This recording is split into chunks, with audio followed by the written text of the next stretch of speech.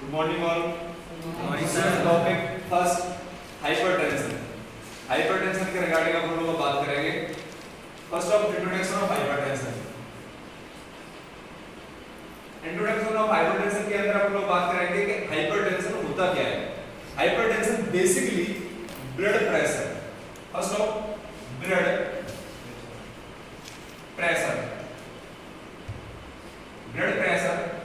किसके ऊपर लगता है जो कि अपनी आर्टरी अपनी आर्टरी होती है आर्टरीज के ऊपर जो प्रेशर लगता है ठीक है?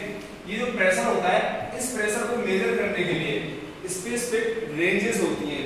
जैसे स्पेसिफिक रेंज होती है नॉर्मल रेंज होती है हाइपरटेंशन की नॉर्मल रेंज क्या होती है? नॉर्मल रेंज होती है 120 by 120 by 70 mmHg this is the normal range of hypertension normal range of hypertension अगर इस रेंज में है हाइपरटेंशन ये जीएनसी जीएनसी 7 के अकॉर्डिंग है जी डब्ल्यूएचओ की गाइडलाइंस होती है। डब्ल्यूएचओ की गाइडलाइंस जीएनसी 7 के अकॉर्डिंग अगर नॉर्मल रेंज है हाइपरटेंशन की 120 बाय 70 हाइपरटेंशन में ब्लड प्रेशर होता है, जो कि अपनी आर्टरीज के ऊपर फोर्स करता है आर्टरीज के ऊपर जो प्रेशर होता है ब्लड का, उसको अपन लोग मेजर करने के लिए कुछ स्पेसिफिक पैरामीटर्स होते हैं। एमएमएच का मतलब मिलीमीटर पर मरकरी एचसी मतलब मरकरी ठीक है? हाइपरटेंशन बेसिकली ये दोनों जो रेंज है, ये दो टाइप की है, एक है systolic and second diastolic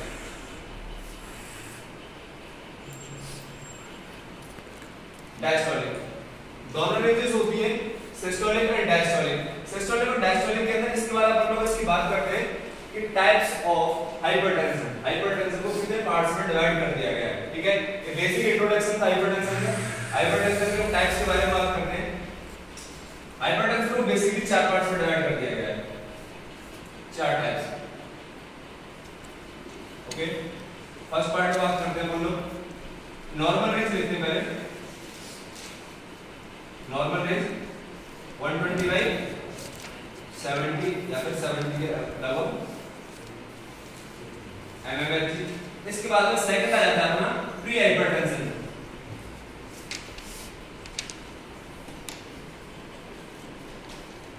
pre hypertension के अंदर अपन लोग कितनी रेंज होती है नॉर्मली नॉर्मल रेंज कितनी होती है प्री हाइपरटेंशन की नॉर्मल रेंज प्री हाइपरटेंशन की 122 139 122 139 से लेकर के अपन लोग कर लेंगे 82 89 mmHg अगर इस स्टेज पर अगर है तो माइल्ड रिस्क है थोड़ी बहुत रिस्क है माइल्ड रिस्क है ये प्री हाइपरटेंशन के अंदर आता है थर्ड पॉइंट क्या आता है अपन लोग stage one hypertension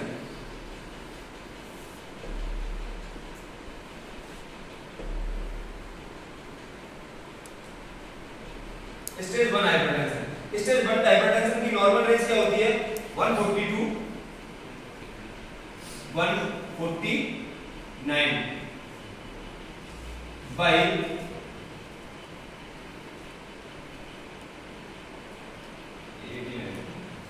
92 99 mmHg ठीक है इसको अपन लोग एक मॉडरेट हाइपरटेंशन के नाम से भी जानते हैं ठीक है? मॉडरेट हाइपरटेंशन भी अपन लोग इसको बोल सकते हैं। इसको एक तरीके से मॉडरेट हाइपरटेंशन के तौर पर अपन लोग बोल सकते हैं। थर्ड पॉइंट आता है यहाँ पे fourth point sorry fourth point पे आता है stage two hypertension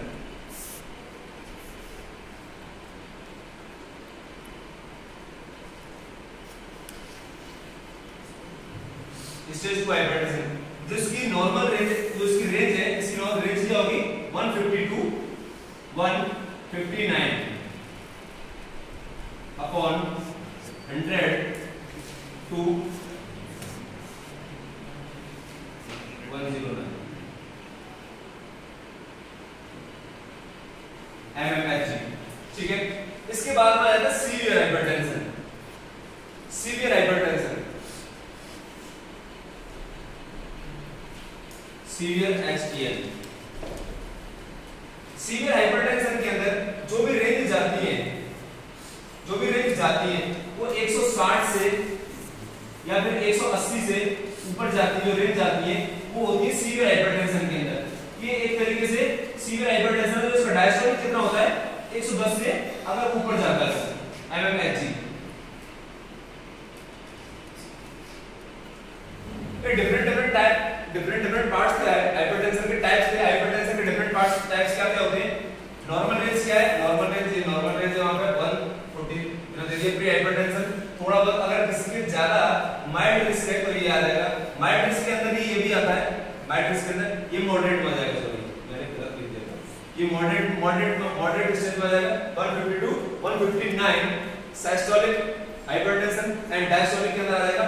100 to 109 something इसके बाद में सीवियर हाइपरटेंशन के अंदर जो 160 या फिर 180 से ऊपर चला जाता है, ठीक है? सीवियर हाइपरटेंशन के अंदर और इसका डायस्टोलिक कितना होगा 110 अबव 110 से ऊपर चला जाता है तो ये हाइपरटेंशन सीवियर केसेस में आता है इसके लिए इमरजेंसी केयर की ज़रूरत पड़ती है नेक्स्ट पॉइंट पर हम लोग बात करते हैं इसके सिम्टम्स सिम्टम्स क्या क्या हो सकते हैं? हाइपरटेंशन के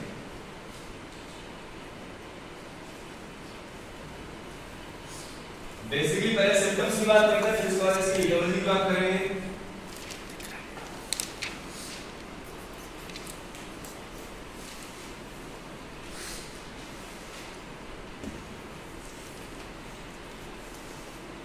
सिम्टम्स हाइपरटेंशन के सिम्टम्स क्या हो सकता है?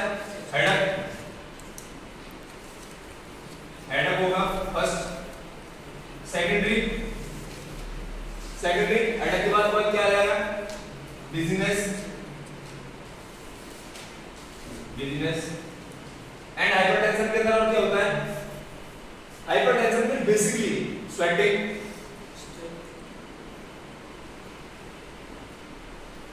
होने लग जाएगी जनरल नॉर्म में अगर देखा जाए तो तीन तीन ही बेसिक सिम्टम्स होते हैं इनके अकॉर्डिंग अपन लोग जैसे घबराहट होना किसी को बेचैनी होना सरदर्द होना सरदर्द जो होता है तो मिडिल पार्ट होता है यहाँ पे।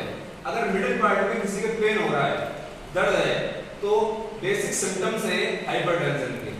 अगर सीवियर कंडीशन में घबराहट है, बहुत ज़्यादा घबराहट हो रही है, बहुत ज़्यादा डिजीनेस फील कर रहा है, बहुत ज़्यादा अनकंफर्टेबल फील कर रहा है तो वो भी हाइपरटेंशन के सिम्टम्स के अंदर आता है। बेसिकली ये मेन सिम्टम्स में आते हैं।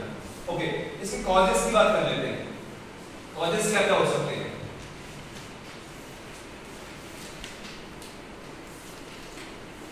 कॉजेस की बात कर लेते हैं हाइपरटेंशन किस किस चीज़ से होने के चांसेस बन जाते हैं? हाइपरटेंशन मेनली हाइपरटेंशन होने के चांसेस है स्ट्रेस स्ट्रेस स्ट्रेस की वजह से जनरली हाइपरटेंशन होने के चांसेस बन जाते हैं। जनरली हाइपरटेंशन होने के चांसेस बनते हैं। बिकॉज़ ऑफ़ क्यों? एसी की वजह से। एंजियोटेंसिन कन्वर्टिंग एंड देन इसकी वजह से बेसिकली स्ट्रेस अगर स्ट्रेस है किसी के तो हाइपरटेंशन होने के ज़्यादा चांसेस बन जाते हैं। ओके सेकंड है एक्सेस क्वांटिटी में साल्ट अगर अपन लोग एक्सेस क्वांटिटी में साल्ट का यूज़ कर रहे हैं तो हाइपरटेंशन होने के चांसेस ज़्यादा हो। मे बी हाइपरटेंशन का कोई भी स्पेसिफिक कॉज नहीं है कि जनरली अपन लोग बोले कि इस वजह से हाइपरटेंशन हो ही सकता है। नहीं हो सकता, बहुत सारे ऐसे लोग होते हैं जो कि बहुत ज़्यादा साल्ट यूज़ करते हैं, बहुत ज़्यादा साल्ट खाते हैं, उनके फिर भी हाइपरटेंशन नहीं होता। बेसिकली बहुत सारे लोग ऐसे भी होते हैं जो बहुत ज़्यादा अल्कोहल अल्कोहल का कंजम्पशन करते हैं अल्कोहल लेते हैं, उनके भी हाइपरटेंशन होता लेकिन मे बी हाइपरटेंशन होने के चांसेस बन जाते हैं स्ट्रेस से एक्सेस साल्ट से अल्कोहल अल्कोहल से smoking excess exercise excess exercise और जो प्रेग्नेंट फीमेल के अंदर प्रेगनेंसी के टाइम पे फीमेल के अंदर नॉर्मली होता है, उसको अपन लोग, वो भी काम कर लेते हैं प्रेगनेंसी के प्रेगनेंसी के टाइम पे।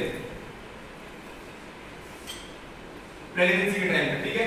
प्रेगनेंसी के टाइम ये बेसिक कॉजेस हो सकते हैं हाइपरटेंशन के। बेसिकली इनकी वजह से हाइपरटेंशन हो सकता है, ठीक है?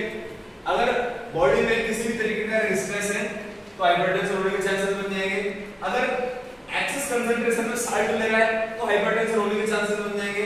अल्कोहल कंजप्शन ज़्यादा हो रहा है अल्कोहल रेगुलर अल्कोहल लेने ले रहा है या फिर बहुत ज़्यादा अल्कोहल बहुत ज़्यादा कंसंट्रेशन में अल्कोहल ले रहा है तभी हाइपरटेंशन होने के चांसेस बन जाएँगे इसके बाद में स्मोकिंग बहुत ज़्यादा कंसंट बहुत ज़्यादा स्मोकिंग कर रहा है रेगुलर चेन स्मोकर है तो ऐसे इंसान के भी हाइपरटेंशन होने के चांसेस बन जाएँगे एक्सरसाइज अगर बॉडी को बॉडी की स्ट्रेंथ के अकॉर्डिंग अगर एक्सरसाइज उस अकॉर्डिंग नहीं कर पा रहा उससे ज़्यादा एक्सरसाइज एक्सेस कर रहा है तो उस चांस उस कंडीशन में भी हाइपरटेंशन होने के चांसेस बन जाते हैं। और प्रेग्नेंट फीमेल भी एक नॉर्मल है जनरल बात है कि प्रेगनेंसी के टाइम पे फीमेल के अंदर हाइपरटेंशन होता ही है। ओके